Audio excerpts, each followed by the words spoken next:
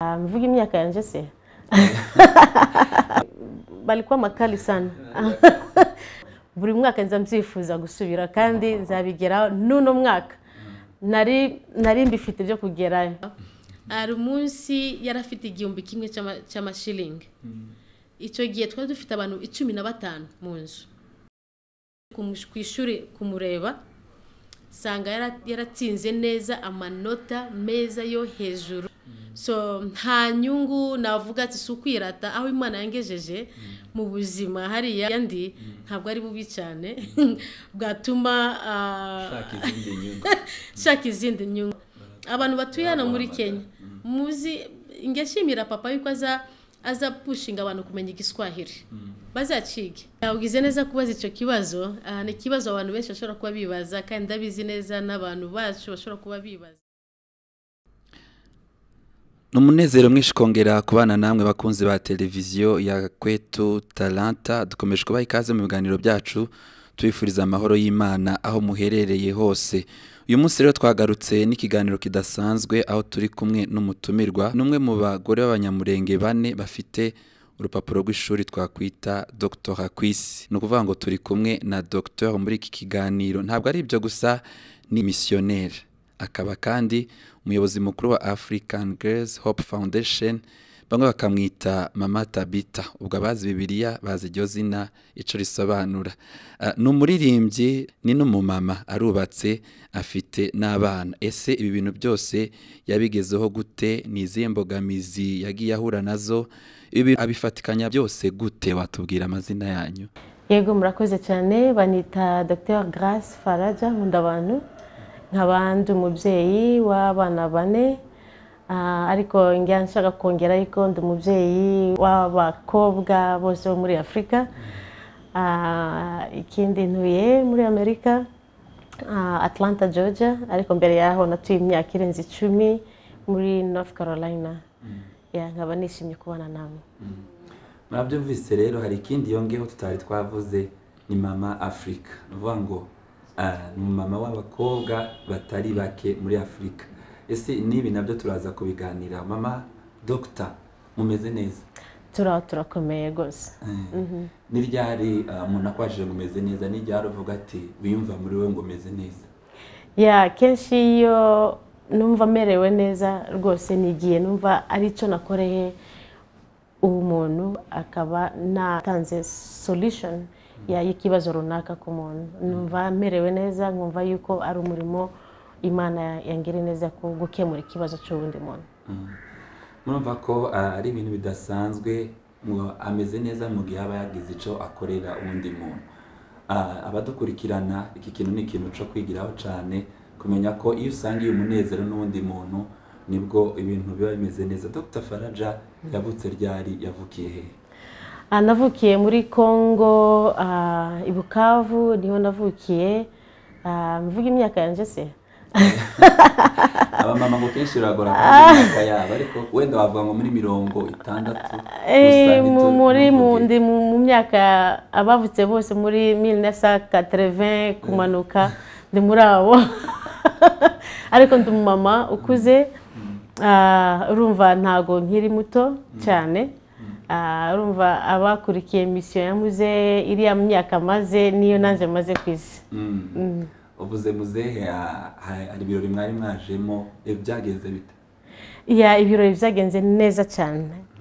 Abaturage bose muri kenya bene wacu inshuti zose ndashaka gufata umwanya muto wo kubashimira kuba mwarabanye natwe. Mwarafatikanye natwe muri ibyo byishimo by'ababyeyi byo gusereburatinga imyaka mirongo itanu yo kubaka kwabo. Imyaka mirongo ine mu murimo w'imana nzenze nyine nawubayemo hamwe nabo nagendanye nabo ahantu hose bagiye nize ibintu byinshi. Kuba ndiwe uno munsi ni kubera abo babyeyi babiri twishimanye nabo ku wa gatandatu. None bene wacu bose n'inshuti zose ba hano muri kenya turabashimiye ku mwihariko kuba ibirori byagenze neza kandi mwarabyitabiriye ku bwinshi.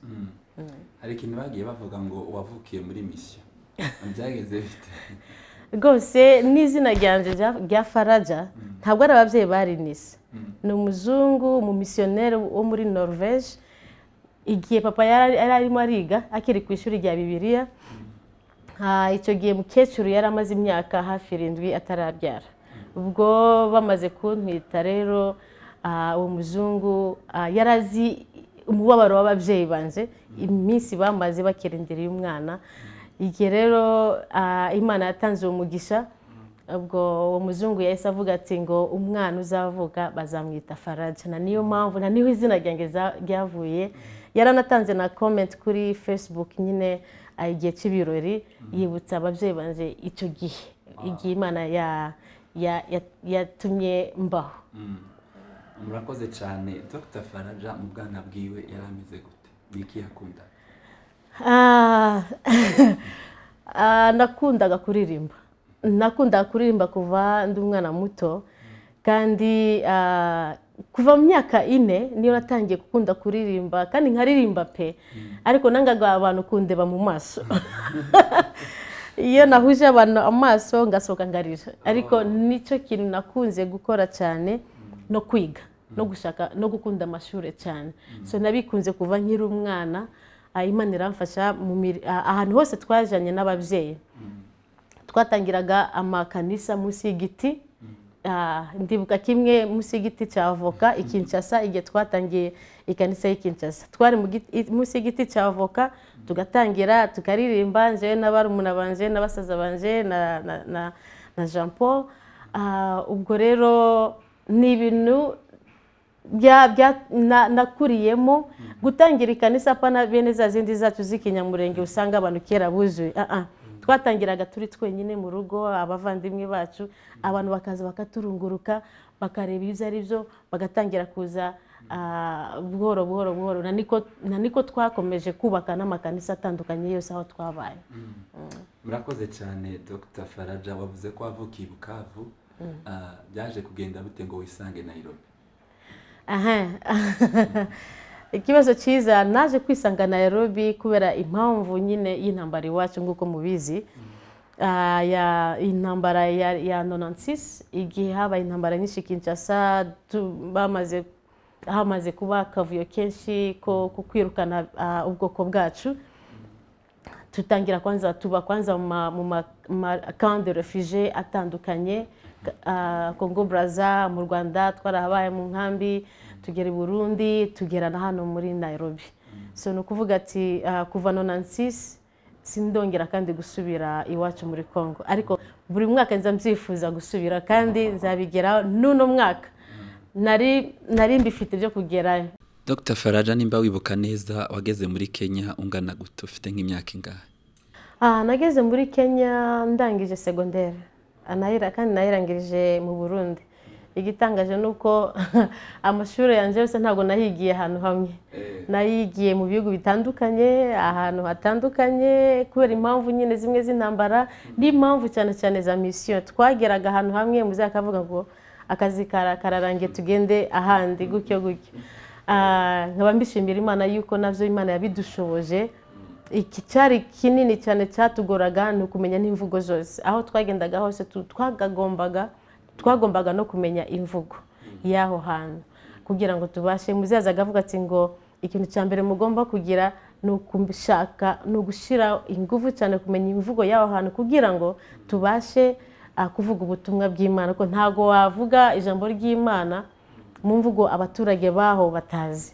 So niyo mpamvu n'uno munsi mukecuru wanjye azi imvugo nyinshi cyane mama. Aza kubitira ingara aza yumva n'igifaransa atigeze agenda no mu ishuri na rimwe. Ariko ni kubera misiyo nyine yatumye ah, imana itubwira neza tukagera muri ibyo bintu byose bitandukanye. Yego. Ah, tugaruke gato ku buzima wabayeho hano muri kenya mu buzima bw'ubuhunzi.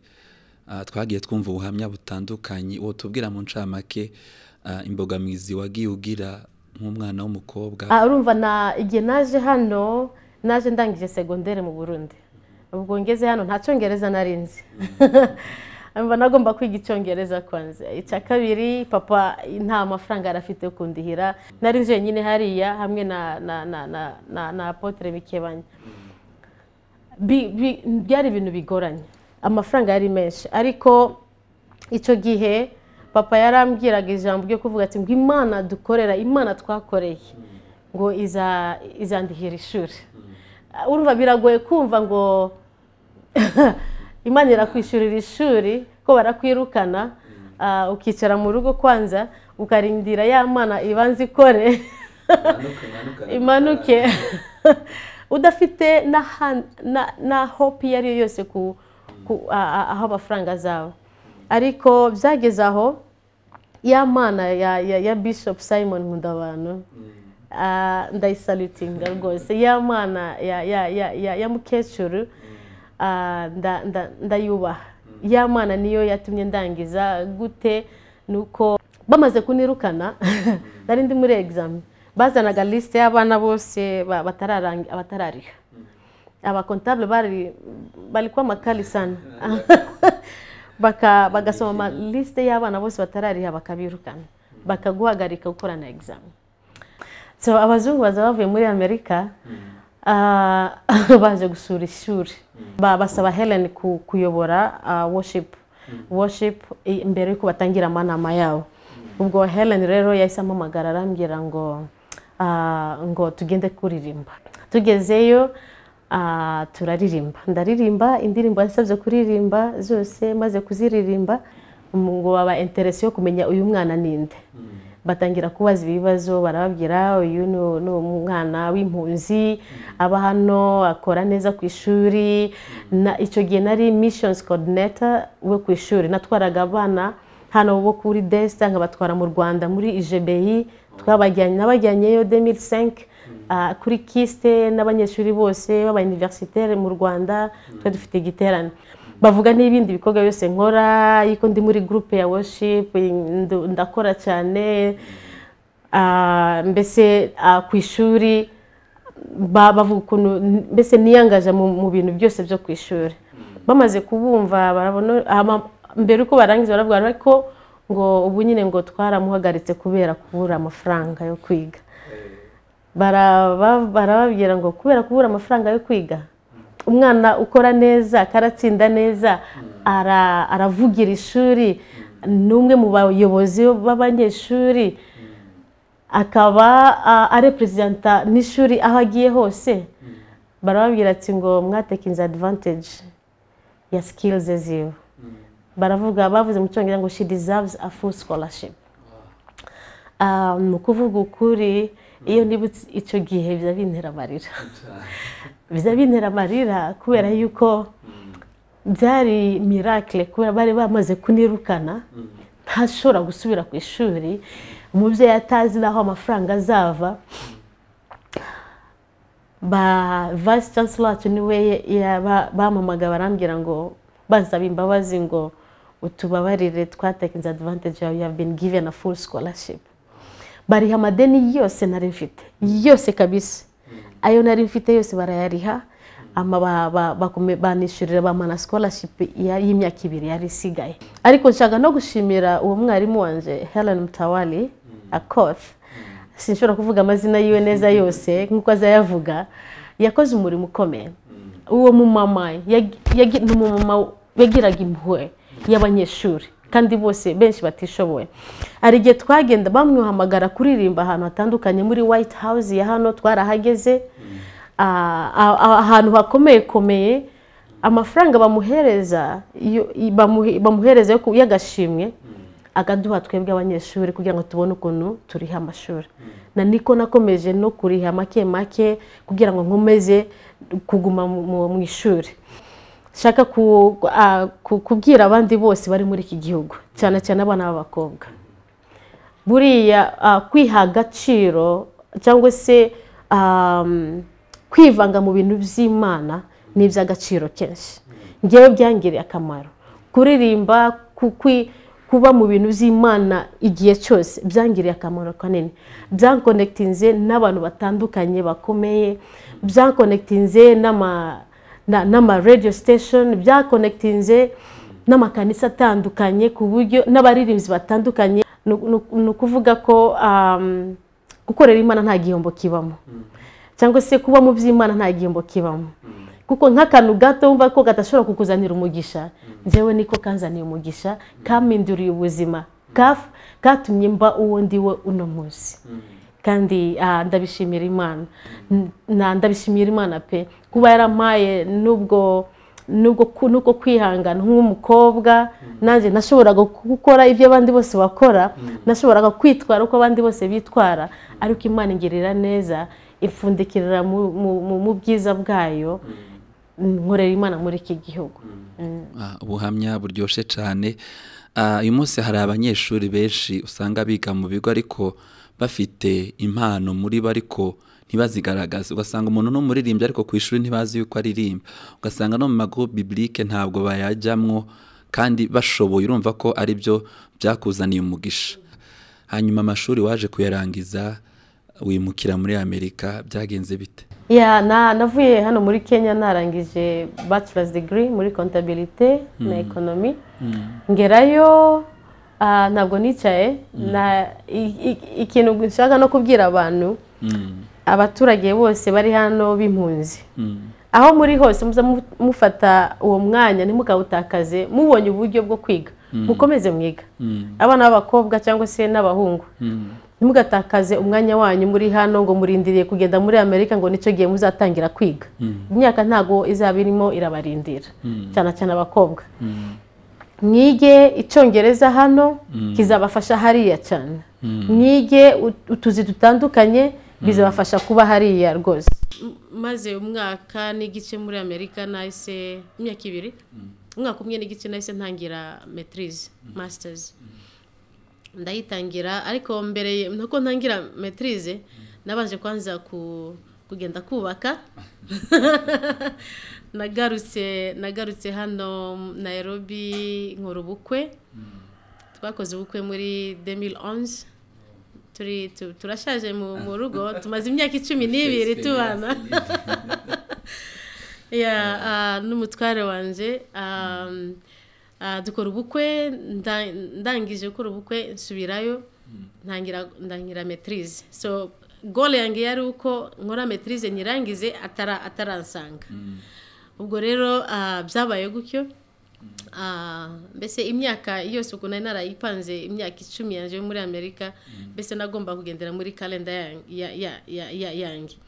Ah, ni cyo nshaka no kwibutsa abantu. Mujye mugira goal ya purpose y'ubuzima bwanyu mukamenya ah, ah, mukagira vision n'ama goals z'ubuzima bwanyu.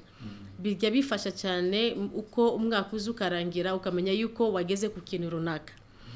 Kimwe cyava ko ukamenya yuko ikindi kintu gikurikira ni iki ngomba kugera ko so umuntu udafite rero iyo gahunda yo kumenya ayo ma objectif n'amagozi y'ubuzima bwawe niyo niyo mpamvu usanga abantu benshi babaho ni nk'aho ah, badafite ah, aho barimo bara- baragana. Ubwo rero ah, nararangiye maze gukora ubukwe nsubirayo ntangira metirize umugabo wanjye yaje agera muri amerika narangije metirize tugira imana ah, tuhita tu- tubyara n'umwana wacu wa mbere umwaka ukurikira. Ah, um- um- muri 2014 2015 tubyara umwana wa kabiri. Twarimo turarekipera imyaka ibiri twamaze tutabana. Um, ah, 2016 ntangira um, amashuri yandi yo hejuru ya nyuma ya doctora cyangwa se ya phd icyo gihe yatangiye Ah, maze ku- gutangira ayo mashuri agoye gutyo ah, umwaka ukurikira mbyara umwana wa gatatu. Ndi muri ayo mashuri agoye. Ubwo um, umwaka iyo ni aho ni 2017 ubwo 2018 igeze muri decembre ndi mu mashuri menshi cyane agoye nari mfite akazi full time. Nari umubyeyi w'abana batatu nari mfite ah, kandi ako kazi nakoranaga nakoraga kuri organisation ya Billy Graham yitwa Samaritan Purse. Ah, ko- nari ndi umwirabura njyenyine muri departement y'abantu magana abiri arenga. Twaga- twa- twagendaga dukora n'amavoyaje atandukanye mu bihugu bitandukanye. Ndi muri ayo mashuri agoye n'abana. Ni ukuri ntaribagirwa nkaba nshimira umugabo wanjye yafashe ukuboko kugira ngo mbashe gukora ibyo bintu byose. Nk'ubwoko bwacu bw'abanyamurenge murabizi ko umudamu kenshi ni wa wundi ugomba kuba mu nzu ateka amesa no kubyara. Ariko njyewe byose narabikoze. Narabikoze ntabwo byambujije kwiga ntabwo byambujije gukora ntabwo byambujije kurera abana ntabwo byambujije no gukora akazi kandi muri biro.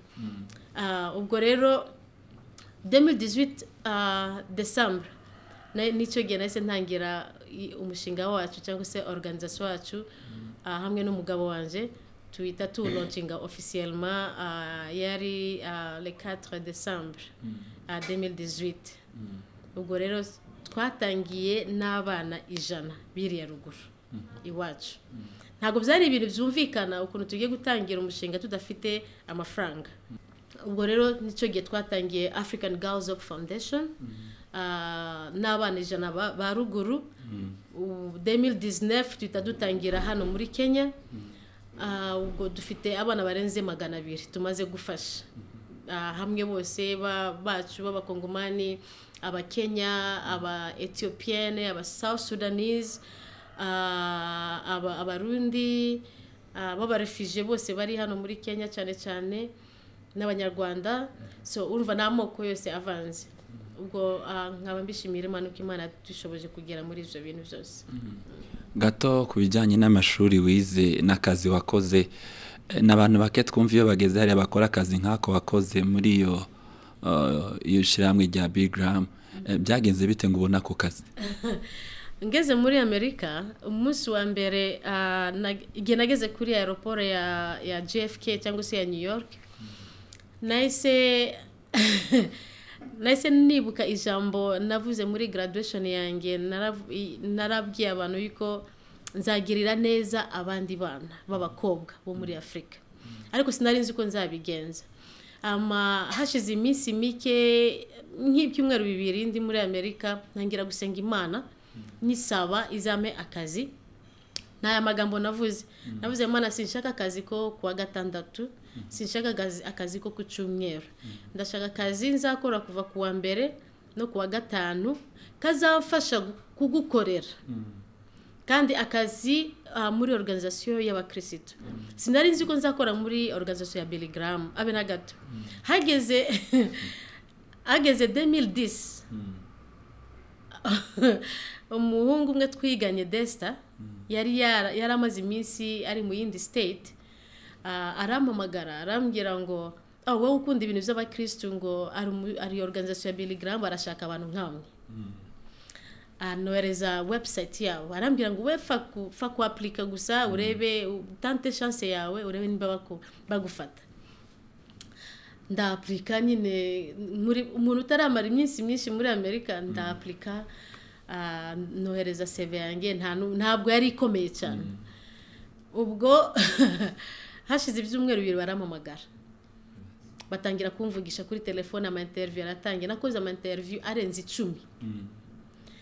Iyo organizasiyo ni iy'abakirisitu iyo organizasiyo iyo interiviyu barimo barayinkoresha ari kuri hedikota maze gukora izo interiviyu icumi kuri telefone barampamagara ngo ngende gukora interiviyu ya face to face tubonana nabo. Ndagenda barandihira tike y'indege ndagenda bandihira na hoteli aho nzaba ndi muri iyo minsi ya interiviyu hama barambaza ngo ngo ninde pasiteri wanjye ndibaza sinshaka kuvuga pasiteri w'umuzungu aho twashikiye ntabwo anzi cyane ntabwo azi imirimo nakoze. Ibitari byo.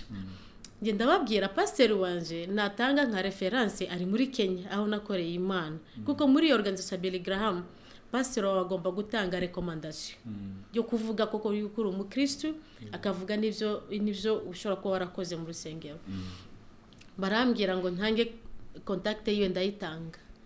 Baramuhamagara. Barahamagaye pasita zakariya oduri wa hano aho nakoreye imana imyaka yose nkiri hano muri iki gihugu. Baramuhamagara arababwira uwo ndiwe. Ubwo rero bamaze gukora ama referense yose bamaze kureba ntibyatinze bampa akazi. Ukumva mba ndimutse icyo gihe nabaga muri new hampshire amamva new hampshire aho twari twasanze musaza wacu mukuru jean paul ni ho yari yashikiye n'umuryango wiwe. Uwo mbasiga mba ndimuka ndimuka 2010 natangiye akazi muri le 12 le 12 avril ya 2010 kuri kwa Billy Graham. Na ubuzima bwanje bwose muri Amerika. Nakoreye muri muri uwo mushinga wa Billy Graham. Nagiriwe amahirwe yo kubona ah, Dr Billy. Ah, nu- n'igihe yapfuye. Nari nkimo na- nari nari ndi muri muri biro dukora dukoraho nagiriwe amahirwe yo kumubona kumukora mu ntoki amavuta yiwe kumva amajambo yiwe atari mu gitabo. Ba- twakoraga pikiniki y'abakozi bose buri mwaka mu kwezi kwa munani. Nawe bakamuzana muri pikiniki y'abakozi bose. Ni amahirwe nagiriwe yo kuba muri iyo organization nka- nkabona umukozi w'imana. Ah, nkaba mbishimira imana yuko n'igihe yatashe asanga umwami wacu yuko nari mpari no mu kiriyo byose. Ah, aho ni ho namaze imyaka hafi cumi n'umwe inkora. Gushiga igihe navuye gukora full time nabo mpita ntangira ah, mpita nkomeza n'iyi organization yanjye ah, kuba full time kugira ngo ndebe ukuntu nafasha abana bacu. Ariko imyaka yanjye yose ni hariya nakoreye. Ntabwo wigeze ukora imirimo twumva iruhishije abandi bakora.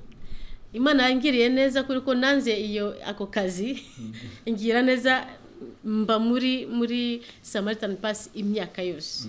Kabisa nahavuye nahavuye samaritan pass kuri headquarter kuko nahomba nawe ndacakorana nabo ariko apana ah, buri munsi iminsi mike ah, dufite biro yacu hariya nabo. Ah, ni ukuvuga nasabye imana kudakorera iyindi mirimo kubera iyindi mirimo yose bara- barabafosinga gukora ku wa gatandatu no ku cyumweru. Ubwo rero kuba naragiriwe amahirwe nageze ku bintu byinshi cyane kubera ko nari ndi hariya. Nize ako kazi kahariya niga imirimo bakora nanjye na ni byo byatumye ngira n'imbaraga gukora ibyo ndimo ndakora. Dr faraje umuntu yumvirije parikuru wagize ahantu hose wagiye ukora wagiye uba umuyobozi. Ni iki cyihishe inyuma y'ibi bintu? Ni iki wako ni iki wakoraga kugira ngo noneho ugume uri otopu ahantu hose wagiye ukora? Ku buryo n'abandi bashobora kwigira kuri icyo kintu. Ah, ikintu cya mbere naje cyamfashije kuba ah, gukora ibyo nageze ku- ku- kuri ibyo byose ah, ni ukumenya uwo ndimo ndakorera. Kumenya ah, impamvu y'ikintu ndimo ndakorera. So na namenye yuko mu byose mu mirimo yose nakoze. Narimo nkorera imana. Uyu munsi uri umwe mu bagore bane b'abanyamurenge ku isi bafite dogitora uwo mubare uracari muke cyane. Mu bagore b'abanyamurenge dufite. Ese ubutumwa wageza ku bagore b'abanyamurenge barimo kudukurikirana?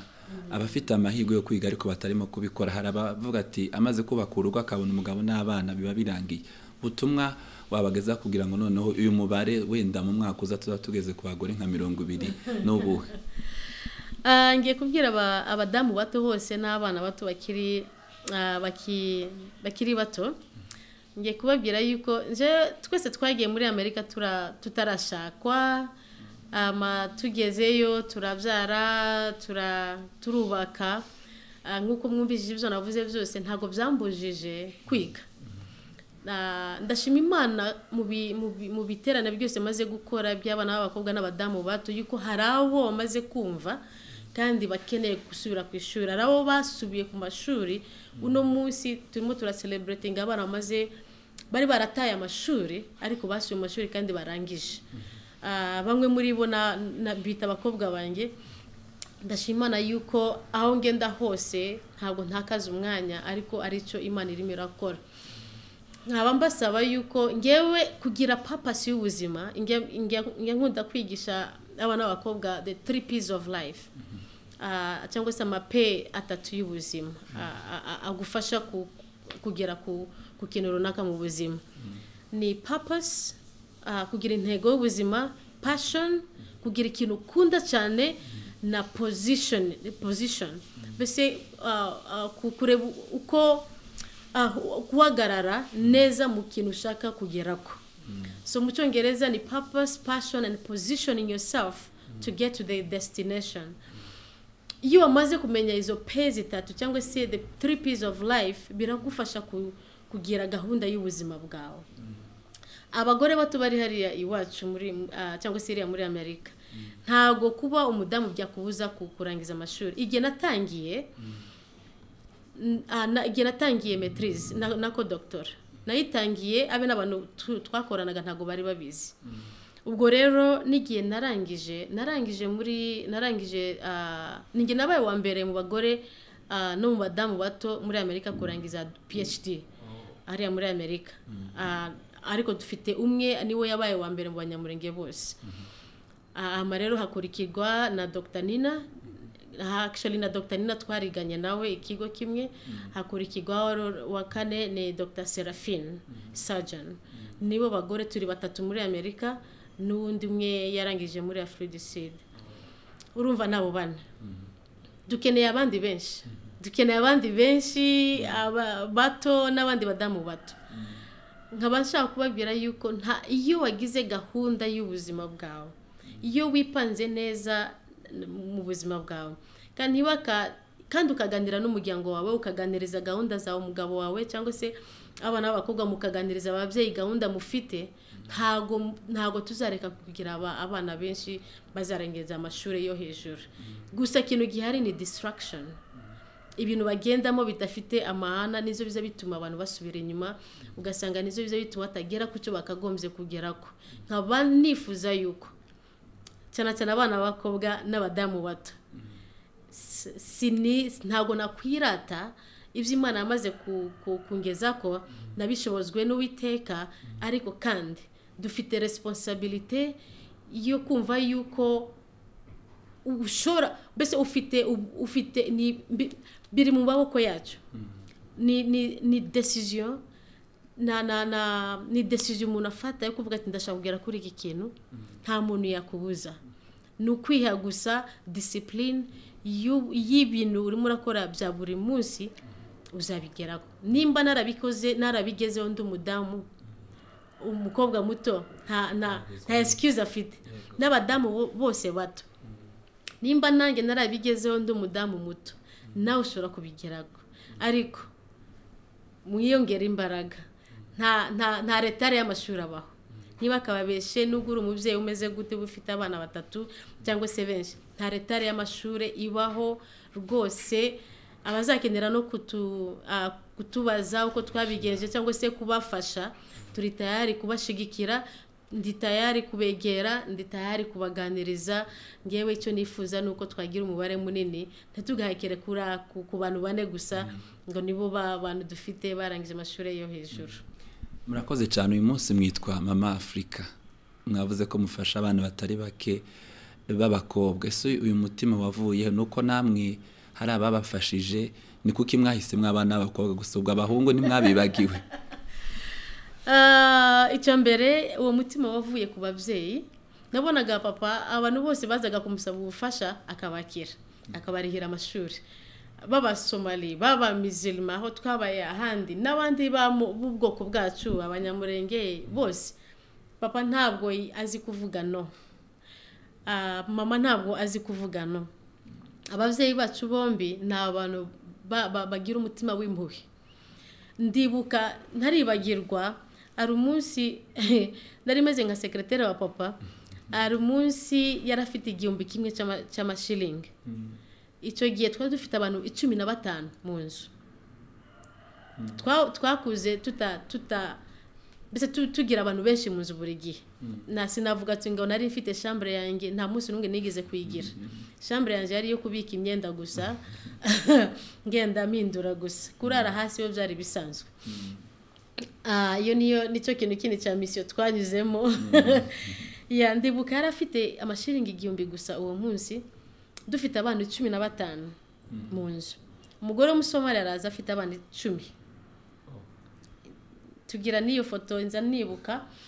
Araza arimo ararira ngo ngo ngo ngo ngo missionary simon ngo mimi nja mimi nja ngo ndashonje ngo ntabwo twariye mu ijoro n'abana.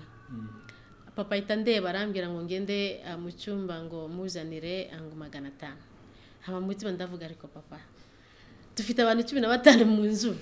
Ni cyo gihumbi cy'amashiringi gusa dufite. Umukecuru yari agiye gukoresha ngira ka kariya ka wasiwasi.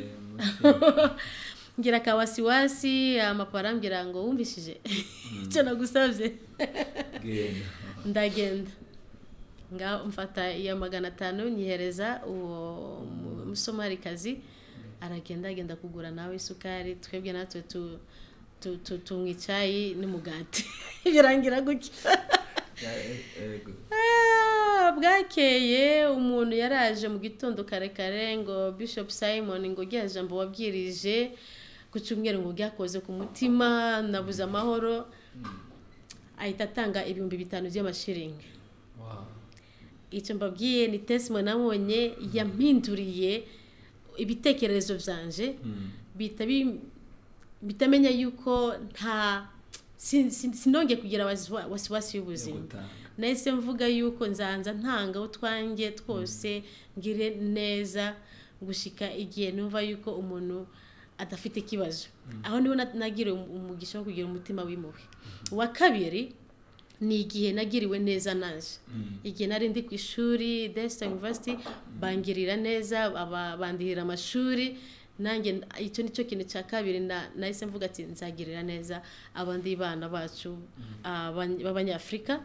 Afurika yose gole yanjye ni uko iyi umushinga wacu iyo fondasiyo yacu izagera mu bihugu byose byo muri afurika.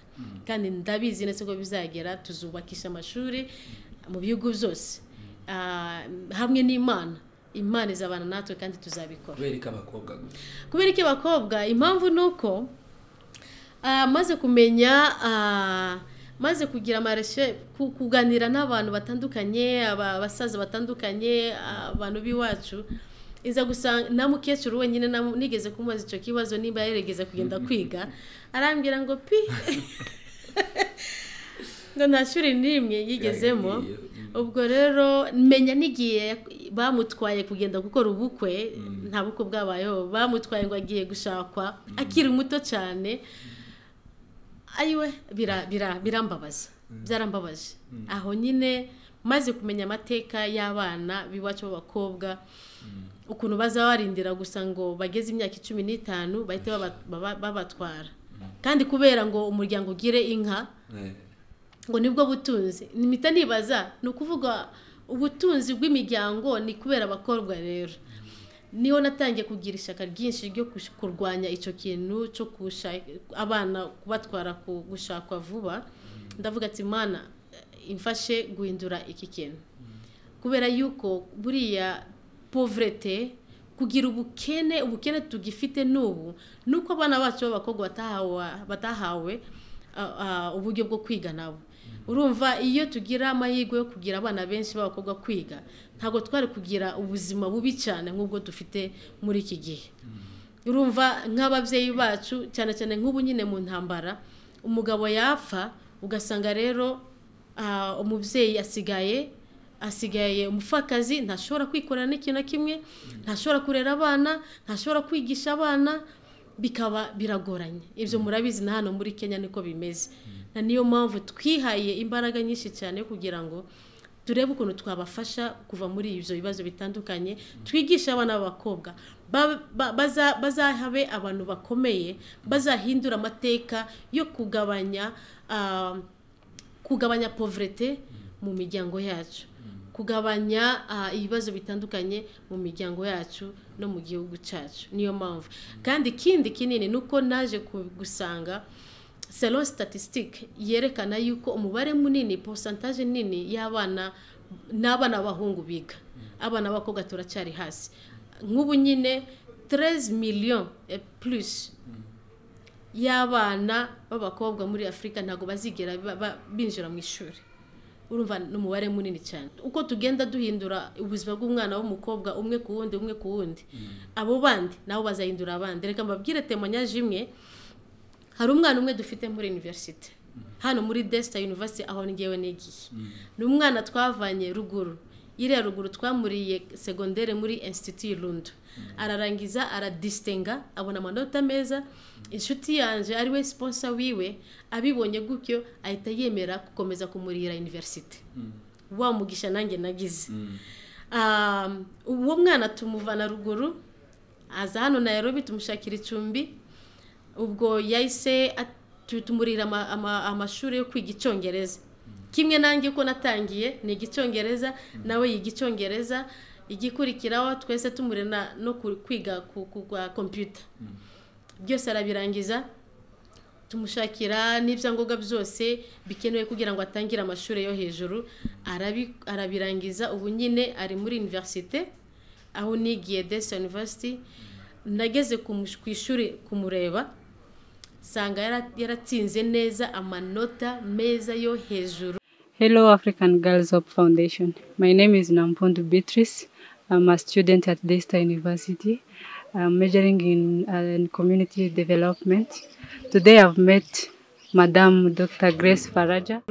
nabonanye n'abayobozi bo ku ishuri bara sinzi ukuntu nabi- nabigenza bahise ba babona ukuntu ngewe nari ndi hariya tubazaniye n'undi mwana wacu ah, cercle ya ya ya ya ya ya, ya benediction. Ni ukuri imana ya ndabishimira imana. Kuba dufite n'abana bari muri university ubu nyine. Dr. Faraja hari ishusho abantu bafasha abanyafurika cyangwa se abatishoboye bafite? Hari abavuga ngo hari abaza guprofita abana kuko babaziga babakuramo izindi nyungu nyinshi. Ese umushinga wawe wo utandukanye gute nabo? Ni izihe nyungu ukura muri aba bana Ya, ugize neza kubaza icyo kibazo. Ah, ni ikibazo abantu benshi bashobora kuba bibaza kandi ndabizi neza n'abantu bacu bashobora kuba bibaza. Ariko u- wagiriwe amahirwe ah, akabona ubufasha ndibaza ko atakwibaza icyo kibazo. Ah, ngewe inyungu mbikuramo ni uko mbona impinduka y'aba bana bafite mu buzima bwabo. Ah, changement cyangwa se education tubahereza ni byo byishimo mba nzi yuko bazaba abantu bakuru mu myaka iri imbere. Ngewe ah, side cyangwa se imbuto ndimo ndatera mu bana yo kubafasha kwiga ni ikintu batazigera bibagirwa ni ikintu kizabahindura ubuzima bwabo bwose. Kandi bataza ah, bizafasha ababyeyi babo imiryango yabo n'ubwoko bwacu n'igihugu n'ibihugu byacu. Ndashaka no kwibutsa na- benshi yuko igihe natangiye uyu mushinga ntabwo nawutangiye ah, nawutangiye ndi mu kazi. Nkora ku- kuri organization ya Billy Graham. Nawutangiye dutangira kurira aba bana ku mafaranga yacu. N'umugabo wanje ah, ku mafaranga dukorera. Ah, n'inshuti zanjye tugakusanya amasa- amasalere zacu tugashyira hamwe. Tugafasha abana. Ah, so inyungu yanjye irimo ni uko mbona ubuzima bw'aba bana buhinduka. Ngo ndabizi neza yuko. Ah, ah, Nelson Mandela ni we yavuze yuko the greatest weapon dufite yo guhindura isi iri muri education iri mu mashuri. Mbese inkota nini dufite yo guhindura isi iri mu mashuri. So nta nyungu navuga ati si ukwirata aho imana yangejeje mu buzima. Hariya yandi ntabwo ari bubi cyane. Bwatuma ah, shaka izindi nyungu. Inyungu yanjye nini ni uko nagirira neza umwana wundi aka- agahindura ubuzima bwiwe akagirwa amahirwe yo kugira ubuzima bwiza hejuru. Dr Faraja murakoze cyane. Ah, muri n'abanditsi hari ibitabo mumaze kwandika. Ni bingahe mwanditse kuki? Twanditse igitabo kimwe ibindi biri mu nzira bibiri turimo turandika. Icya mbere twacyanditse tuvuga ubuzima bw'abadamu b'abarefije bafite ubumuga. Iyo ni topic na na na- na- nashatse ku- kuyikoraho cyane kubera yuko twese nk'abarefije twabaye muri hano muri muri iki gihugu tuzi ubuzima tuba turimo. Ariko ibaze rero ingorane umurefije ufite ingingo zose anyuramo ibaze rero udafite ingingo zose z'umubiri uko yaba ameze. N'ibibazo anyuramo. Nigeze gusura ndimo ndakora ama recherche zanjye zateze nigeze gusura ah, umuryango umwe ah, umubyeyi umwe atari afite amaguru amaguru yombi. Kugira ngo agende akore n'ikintu icyo ari cyo cyose ni ukumuterura. Ibaze rero ubuzima barimo. Adashobora kwikorera n'ikintu na kimwe. Ad- na- na- na- na- na- n'ubu- n'ubufashwa bwinshi nta nta kintu na kimwe ashobora kwikorera. So nashatse kwerekana ubuzima bw'uburefije bw'umudamu ukuntu bugoye cyane muri iki gihugu n'ibibazo banyuramo ni- n'ibintu byose bakeneye kugira ngo babashwe gufashwa. Hari igihe baza bibagirana. Kandi ugasanga afite n'abana bafite n'abana barimo bararera. Abana ugasanga nibo ba bandi bagenda gushaka ubuzima ibintu byo kurya kugira ngo babe- babe- babeho. Ah, imfashanyo yose babona ntabwo iba ihagije. Ntabwo iba ihagije. Ah, nashatse yuko imishinga yose menshi iri hano. Izakiri- izagira icyo ikora mu kongera ubufasha mu badamu b'abarefije bafite ubumuga muri ibi bihugu byacu. Dr faraja mukigera muri amerika ari akazi ka mbere mwakoze mwotubwira kuri ako kazi. Reka mabwize ukuri ari igihe abantu bazatinya kuvuga utuzi bakoze ko gukubura cyangwa se ah, gukora kariya kanasi ko gufasha abakecuru ah, nta kazi kabi kabaho. Ngiye gukubura ntabwo ari akazi kabi. Uzi ko ugenda ukubura hari umukecuru umwe ni we yambwiye ngo ah, uko uragenda u- umuntu wese agenda akubura asenga n'imana mugisha kuri iyo ntebe bene ibyo. Nta- ntabwo ari akazi kabi. Abantu benshi banga kubi- kubivuga. Ah, nakoze nakoze interpretation mu rukiko ah, rwa federal court new hampshire mu bitaro mu ma different companies z'ama assurance reka mbabwize ukuri kumenya imvugo nyinshi byaramfashije urumva ah, uko nari nzi imvugo nyinshi ayo, makampani yose yaranshakaga nk'iyo court, uh, federal court ya new hampshire nari mfite kontara nabo y'umwaka. Buri gihe bazaga bayihindura. Naho nahakoze umwaka umwe gusa. Ariko yari busy. So ugasanga ama private attorneys amabiro y'abavoka nabo bakagukenera kubera ibibazo bitandukanye by'aba immigrant cyangwa se abarefugee bageraga. So ndabikoramo uwo mwaka umwe ubwo nabonaga byabaye ibintu byinshi cyane bizantakariza focus yo gukomeza n'amashuri na ni cyo gihe natangiye no gushaka uko nshaka gukomeza n'amashuri mpita mbona ah, ah, imana saba imana imwe akandi kazi. Ah, ubwo rero ni cyo gihe apure umwaka umwe ubwo mbitangira ah, mpita mbona kariya kazi ka samaritan. Navuga yuko samaritan ni ho nagiriye ubuzima bwose bwanje muri amerika. Nahavuye ejo bundi igihe cya covid. Ah, urumva rero kuva icyo gihe n'ako kazi ka interpretation ntabwo karangiye. Uba usanga kubera ndi muri sisiteme yabo abantu batuye hano muri kenya. Muzi ngashimira papa yuko aza aza pushinga abantu kumenya igiswahili. Bazacige. Hari abantu benshi bazakora ama interpretation ubu nyine muri amerika mu giswahili bazabibuka yuko bishop simon yazaga binginga kumenya igiswahili cyane mu rusengero. Ibyo byose ibyo bigira akamaro kenshi cyane. N'ubu nyine hari igihe habaho amakesi atandukanye ba- baba bashatse umuntu uvuga igifaransa iringara cyangwa se igiswahili. Kubera ndi muri system already nk'umuntu ndi trained professional translator na interpreter biroroshye cyane kumbona muri systeme yabo bakampamagara wakwanga icyo kiraka? Oya. nubwo ndi dogiteri oya as long as amafaranga yinjira. Ari yego. Urumva ah, ndashaka kuvuga gato n'impamvu na- nabikomereyeho cyane. Ah, kuze wanjye wapfuye ah, profesa kigabo ni we yi- nawe yanegishije yarambwiye ngo nubwo warangiza amashuri ameze gute? Ariko amashuri ikintu kimwe ntabwo cya- cyakugirira amafaranga menshi. Ugize ya- y'amafaranga ahantu hatandukanye na ni ho uzi ukemura n'ibibazo byinshi. Ariko kurindira source y'amafaranga ahantu hamwe ntabwo yakemura ibi- ibibazo byinshi.